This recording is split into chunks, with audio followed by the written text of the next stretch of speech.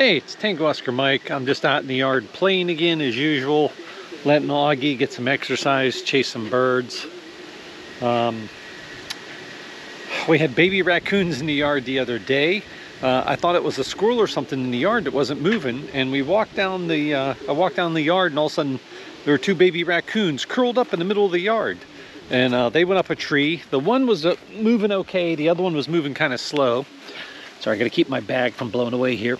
And um, I set up the trail camo to keep an eye on them, and uh, they came down and left later on. So um, I don't know where they went, but hopefully they're doing okay. And then uh, today I saw our first baby fawn of the year in the yard. Uh, we've seen the mother a lot, so we knew she was hanging around the house all the time. So we knew the baby was around here somewhere. And this morning, the baby went across the front yard dancing. Um, the, the baby's just they're loving life. Like they look so happy and they're jumping around and running and playing.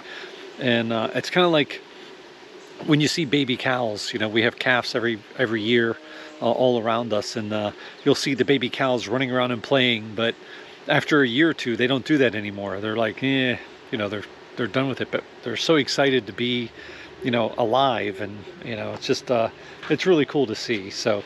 Um, but anyhow, I'm experimenting out in the yard. I've got the 705. And I just talked to uh, W1AW in Missouri with 5 watts. And what I'm using is, I wanted to try something. I, I really haven't messed with verticals at all.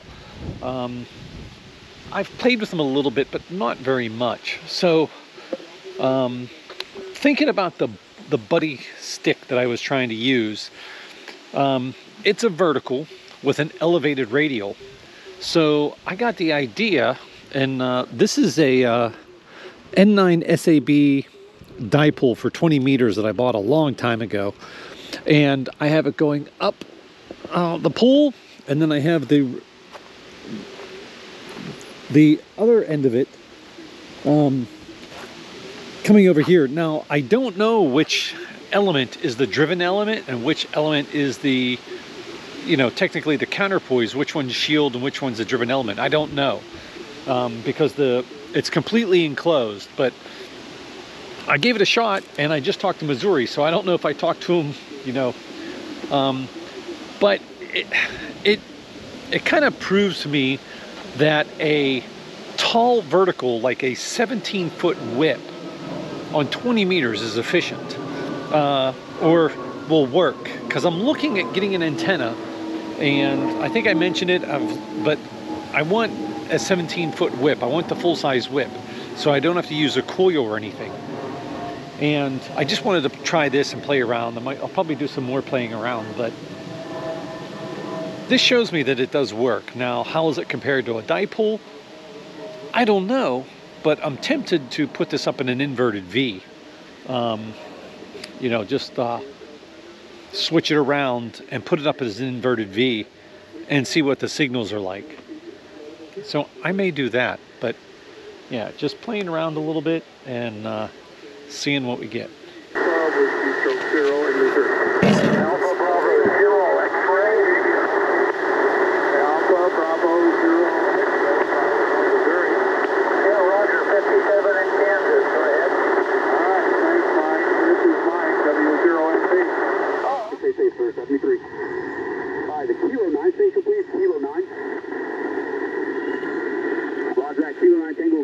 I had to go get some fudge. This is a moonshine fudge.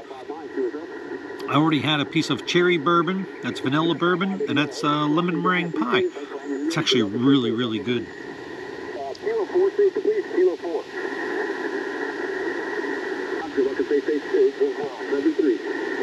November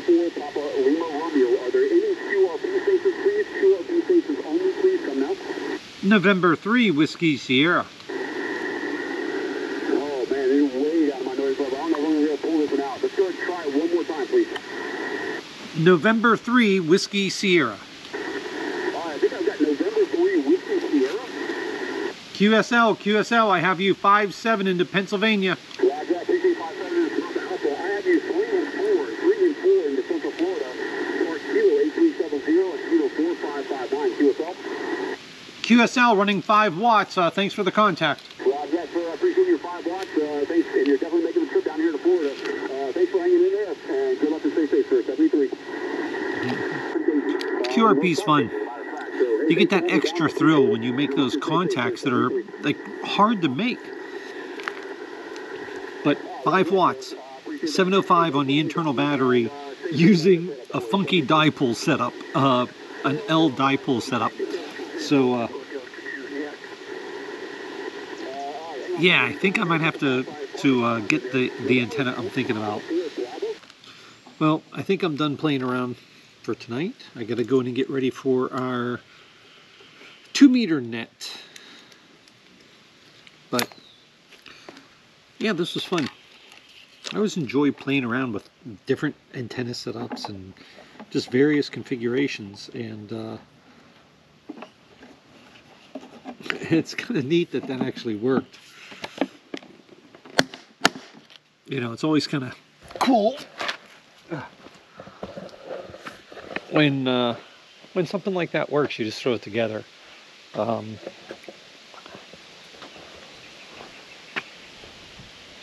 I do want to try a 17 foot vertical with ground plane and uh, see how that works. But you use what you have, come up with, uh, I mean, this isn't, like I said, this isn't new. This is kind of the same setup that the Buddy stick uses. It's an elevated radial with a vertical element. The Buddistick, though, has that coil and it's a very short antenna. And when you're running QRP, a compromise antenna just doesn't do you any good. Um, it'll work, but you're going to have a much harder time. Where if you use a full length antenna, you'll have, uh, or a quarter wavelength antenna, you'll have a lot better luck, or a 5 eighths or something like that. So, um, but yeah, so I got to tear this down and get ready for the net. Tango Oscar Mike,